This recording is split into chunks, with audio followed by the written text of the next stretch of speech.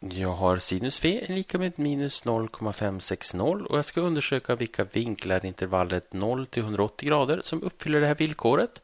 Jag får ut två lösningar när jag löser sinus, så min första lösning, vinkeln V1, är detsamma som sin minus 1 av det här då minus 0,560. Sådär.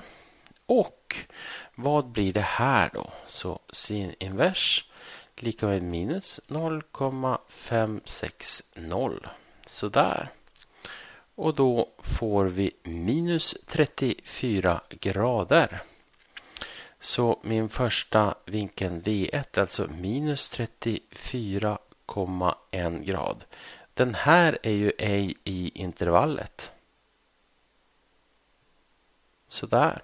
Och den här vinkeln V2 blir då 180 grader minus V1, det vill säga 180 minus den här vinkeln som är minus 34. Vi kan ju skriva minus svar här så får vi det exakt. Så blir det 214,1 grad.